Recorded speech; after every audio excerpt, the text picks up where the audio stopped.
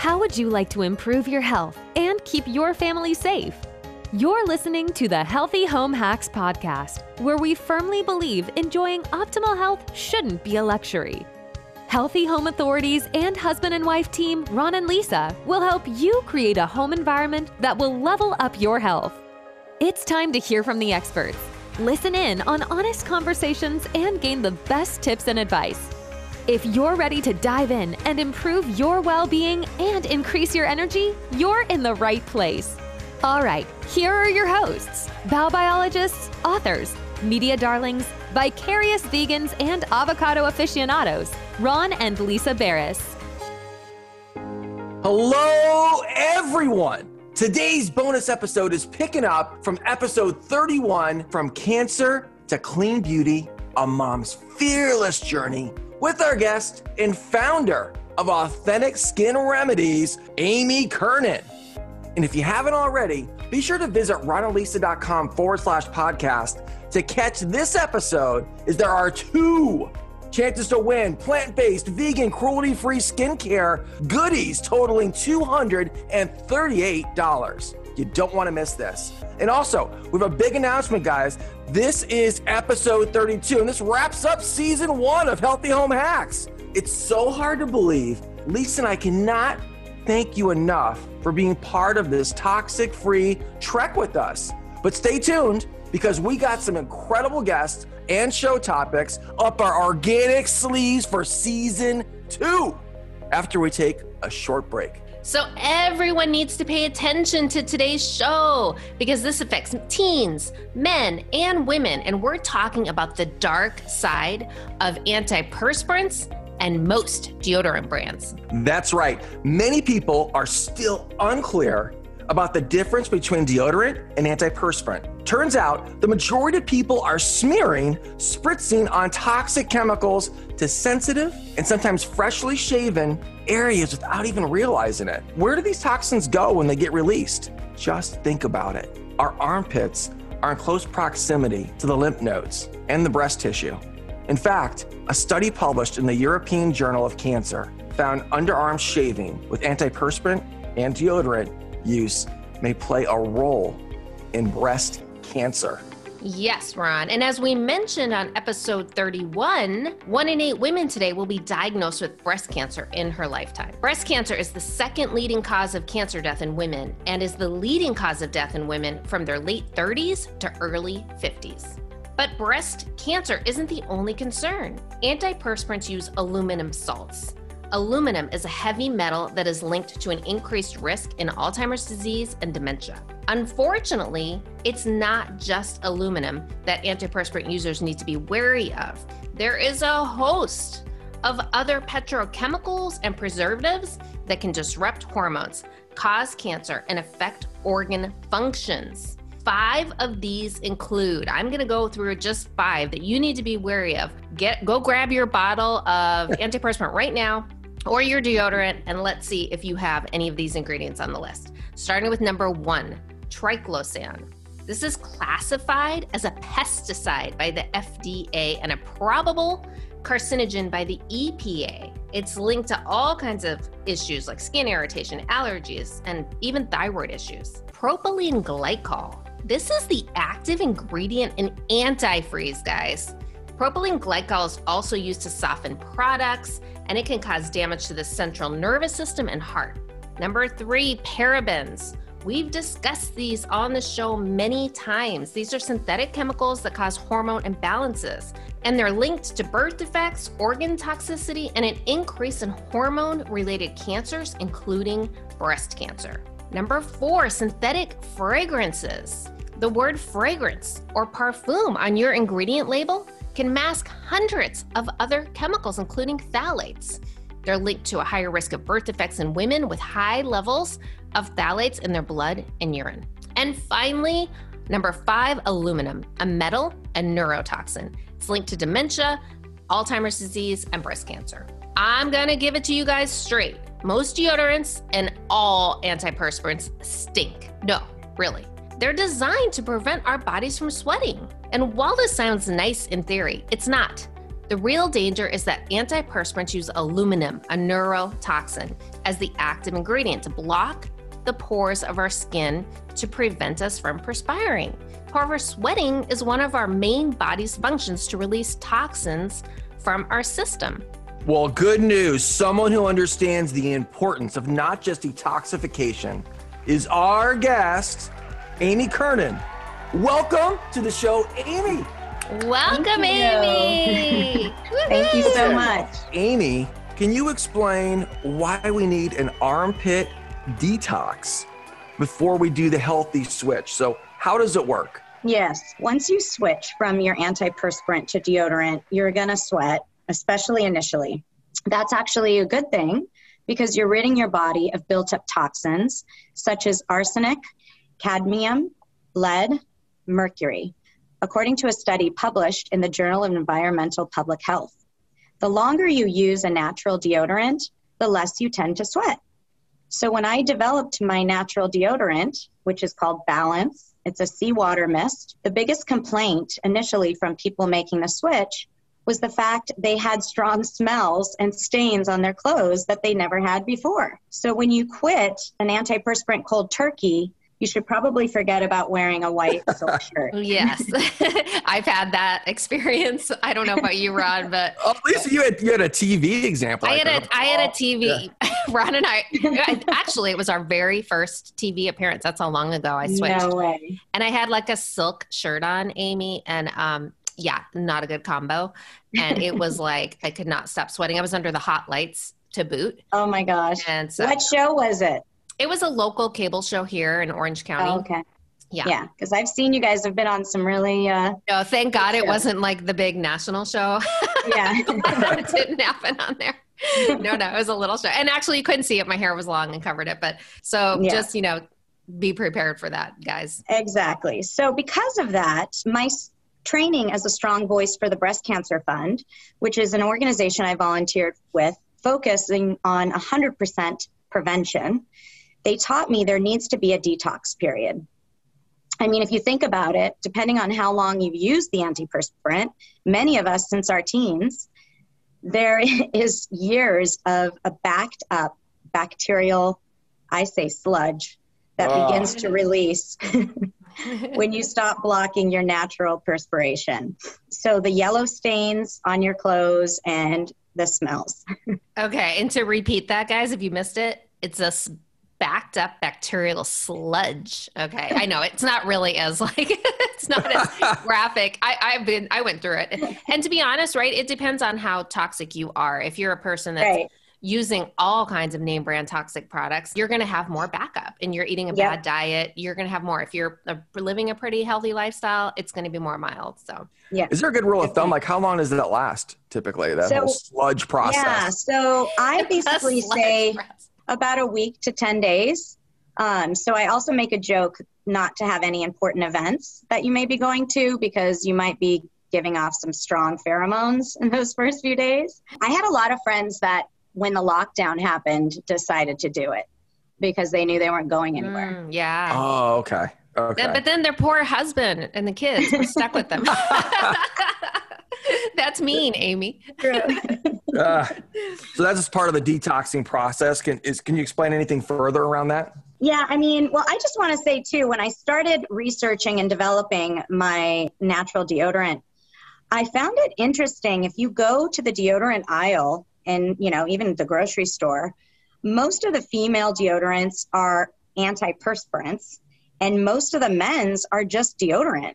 I mean, why? Yeah. Like, Isn't that why do we have to block our sweat? Why is that? don't? They like to toxify the women Uh, as if we don't have enough products. We talked about that in the last episode. And women use what 168 unique ingredients a day on average. Oh, you know, Right. let's just add some more in the in the antiperspirant. Right. And, you know, if you think about it, you know, we're blocking ourselves from, you know, sweating. And Right. nature has given us many healthy benefits of sweating. It reduces the risk of kidney stones. In, in addition to toxins, sweating through exercise releases excess salt and calcium from the body. And according to researchers from the University of Washington, you can reduce the risk of kidney stones just by sweating. So, without sweating, excess minerals travel to the kidneys and urine and potentially form kidney stones. A lot of people are getting Botox in their armpits, Mm, right? Have you true. heard that? To, to stop from sweating, it's the same thing because you know we're talking about like the the ingredients in antiperspirants and deodorant, but but Botox that you're you just blocked off a pathway of your body to Mhm. release toxins. So that how smart Right. is that? You know that's not a good. That's just not a. And I know so I know there's a and I think it's an illness. I think there's a name for it where people have excessive sweating. on I- their hands, too. yeah, I know that's a different thing, and I'm not gonna. I don't want us to really go there because that's not Yeah. what the topic of this is today. But for regular people, why would you do that? Why would you block that out? Yeah, and it's it's right by your lymph nodes and it's right by your breasts, you know. Yeah. So another benefit of sweating naturally is it re- regulates your body temperature. So it actually the evaporation of sweat on your skin, which is your largest organ, it helps us maintain a cool body temperature while preventing overheating and extreme heat during an intense workout. So without that regulation, you can feel dizzy or faint or Mhm. develop skin rashes. I know Yeah. a lot of people antiperspirant gives them skin rashes and you know ingrown hairs and you know it redness on their armpits and then the last thing is acne i mean sweat causes our pores of our skin to open and release the buildup that lead to breakouts Yeah. And you were mentioning like a lot of people put deodorant or anti well, we're talking about antiperspirant is the real issue. Right.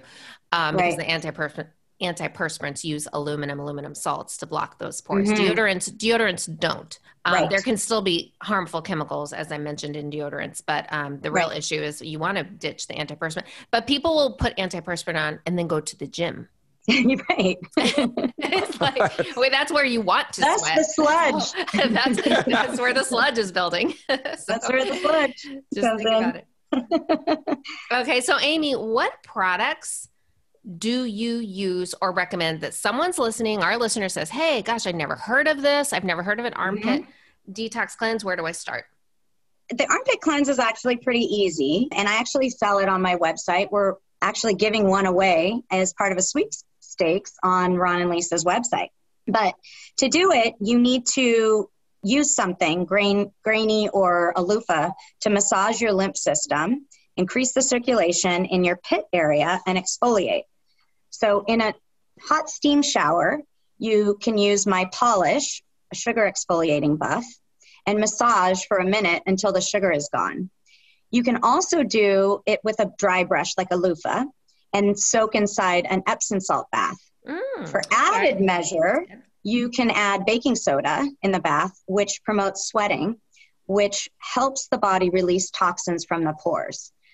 A good way to test if detoxing from Epsom salts works is if you ever had a hangover or fighting a flu or a cold, after 20 minutes of using the sugar scrub and then the Epsom salt, you'll notice a difference in how you feel probably an hour or two later. And I tell people this all the time and it's like there it, it actually you actually feel a difference, you know. so you do the sugar, you do the sugar scrub under your armpits for 20 minutes, and then you get in the bathtub with some Epsom salt and the baking soda. And And- actually, for added measure, like I said, if you have a cold or a flu or anything, you just want to detox your whole body. I, I, I have clients that have gone through chemo and radiation. I have a lot of cancer patients that come to me after. And I recommend not during chemo, but after to do what you do is you stand over the tub and you just take the sugar scrub dry and do a dry rub on your entire body. Obviously, focus on your your pits and you know where the lymph system is and then soak for you know 20 30 minutes but you actually do feel better you know if you have a hangover and you have a headache like literally an hour later you know you just you feel better so Wow, that's really Yeah. great. I I think um, I use I love the polish, which is Amy's um, Authentic Skin Remedies scrub, and I used it and the first time this week, and I loved it. My skin was like so smooth, and it's interesting because we don't normally scrub our armpits. That's not a place with a loofah type with something grainy, right? That's just not Right. like we're not sort of trained to do that. So In regards to the armpit area, does it make a Uh-huh. difference if you have hair there, if you're a man? Um, I don't think so. I mean, the sugar scrub, a lot of men use the sugar scrub on their beard to soften it Oh, before okay. shaving. So I, I think, I don't think so. Okay. Um, okay. But back to the cleanse. So now you've kind of, you know, activated your lymph system and your circulation. So um, what you have to do next, this is very important. You can take a teaspoon or tablespoon of baking soda in a little cup, add some water, and it makes a paste. Um, just add it enough to till it turns into a paste. And then, oh, also the baking soda needs to be aluminum free. Well, Uh, yes. you know what? I'm glad you brought, I'm glad you brought that up because this is a something that people get very confused about. Baking sodas don't have aluminum, only baking powder. oh, got it. Only baking okay. powder. But I'm glad you brought that up because Yeah. a lot of people think that. So there is Yeah. no aluminum in baking soda, only baking powder. Okay. Yeah.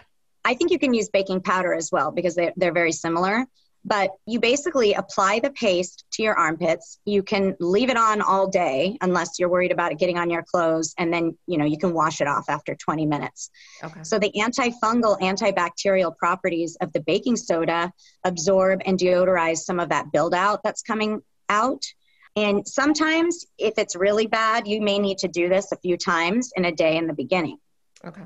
But I had a dancer call me the other day, and she didn't want to have the white powder, you know, on on her leotard. And so I looked up a couple options. You can do either lemon squeezed in warm water and apply it with a cotton ball, Okay. but even better is apple cider vinegar Mm. applied with a cotton ball. Yeah. Mm. Um, so That then once you do that, that oh that seems pretty easy. So that you could do that Yeah. instead of the baking those soda. are just three three super easy substitutes Okay. um, or three different options to kind of you know get rid of the um, bacteria and so then you just spray the deodorant which is balanced or whatever deodorant you have any natural deodorant if you want to check um, the score you can go on to skin deep or think dirty like we said in the other um, episode Right. um, and that's um, for listeners who did not listen to episode 30. That is the Skin Deep database. And that's Mm-hmm. through EWG, the Environmental Working Group. And they list thousands and thousands of products with a toxicity score from one to 10. I think I said one to seven last time, but it's actually one to 10. I'm going to give you guys, hang on till the end because I'm going to list some of my favorite um, deodorants that are very low toxicity. Well, that's excellent. And speaking of ingredients too, what ingredients are in your cleanse, Amy? i don't include the baking soda No? But the cleanse, if you buy it off the website, you get the polished sugar exfoli- exfoliating buff, and then you get the balanced seawater mist. So the ingredients are all in Latin on my website. As you know, organic ingredients are in Latin. But since the last time I spoke Latin was probably in ninth grade, um, Good for you. I'm not going to try to. Why are that? You know, I didn't know that. Why are the why are the I- ingredients in Latin? I don't know. I The mean, but I Italians can't- are I'm looking at the ingredients, and I'm not even going to try to, you know, Yeah. say them. So I'll just use the English version. But Thank if you want to see the Latin version, you can go on my website. So the sugar buff has organic brown sugar, organic avocado oil, um, and just a scent. So an organic lavender or whatever um, organic oil uh, to, to make a scent. So it's very simple. Um, but the brown sugar is really, really grainy. And then the avocado oil actually nourishes as well. So it's great on your body. Sometimes you can use the scrub and you don't even need um, moisturizer afterwards. nice. And then the balanced seawater mist is purified seawater, which actually balances your pH.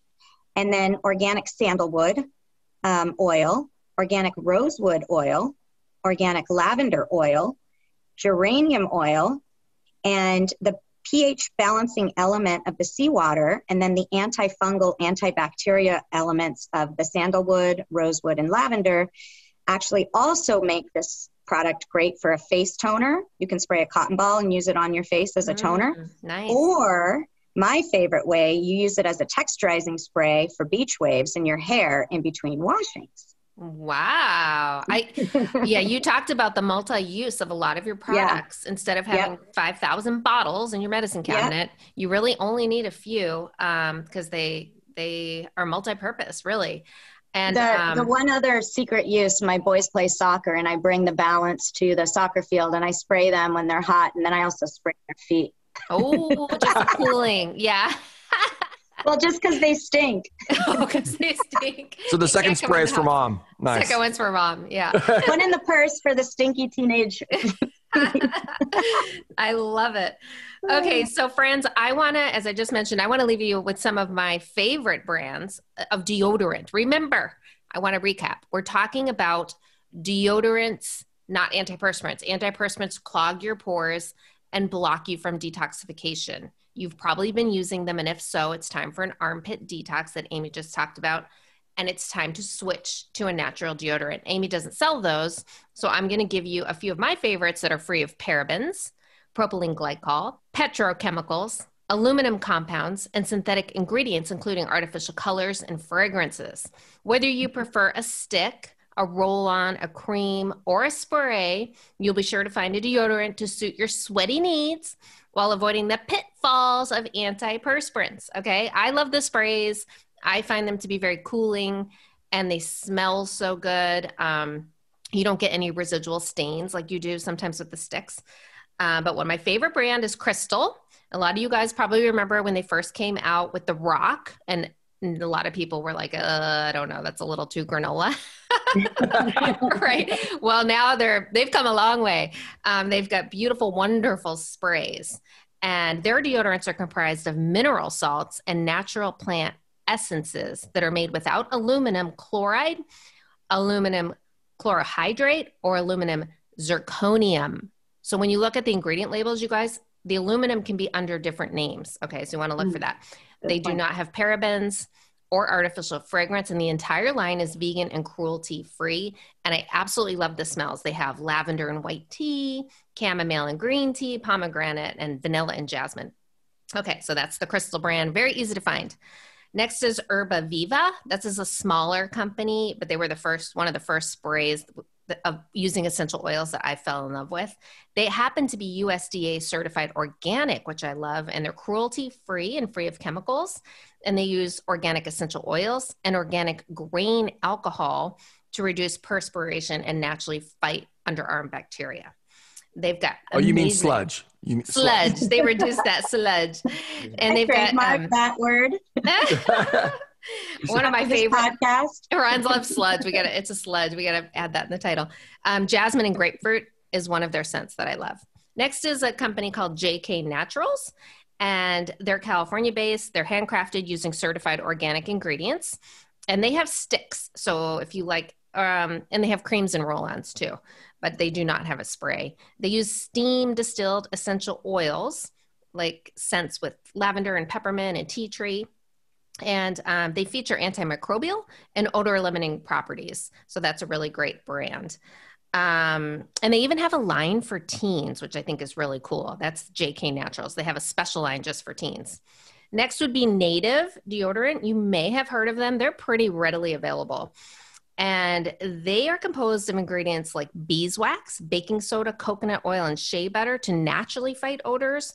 And they have, I love it, a charcoal deodorant that harnesses the power of activated charcoal and they combine it with citrus undertones so it smells amazing.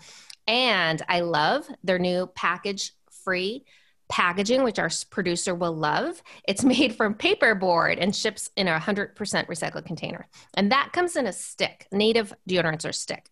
Did and you say last, plastic free? You said plastic yeah, free, it's plastic free packaging. Isn't that neat? It's just paper, paper plastic. So, and then Pretty Frank is kind of a funny name. They used to be called something else. I think they were pity paste.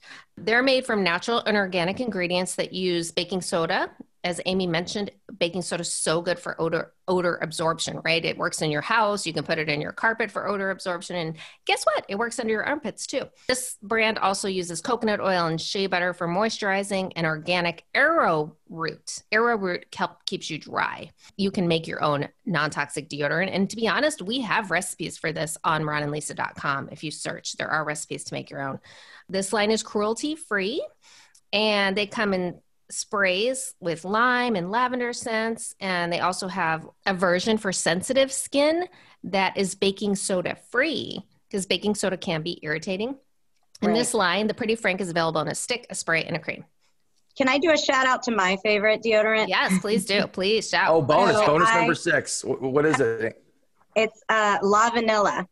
Oh, um, I've never and what's yeah, lavanilla.com. But what's cool is they are vegan and all of that, but they use probiotics You know, what's in yogurt and kombucha. Mm-hmm. Um, and I, I just love the smells. I, I actually have gotten it at Sephora before, but um, Okay, can- good to know. Yeah, Yeah. I, I know because.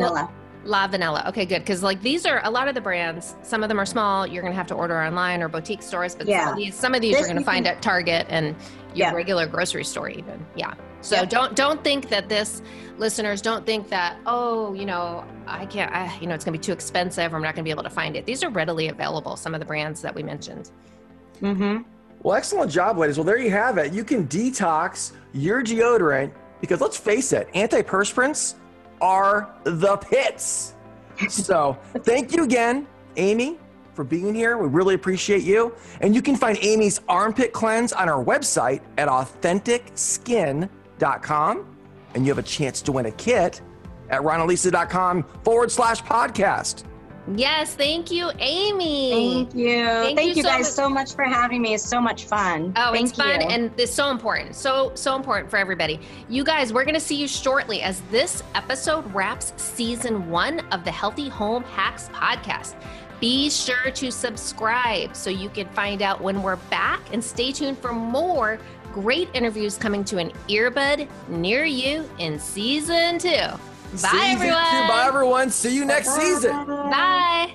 This episode of the Healthy Home Hacks podcast has ended, but be sure to subscribe for more healthy living strategies and tactics to help you create the healthy home you've always dreamed of.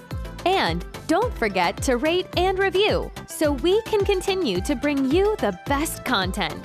See you on the next episode.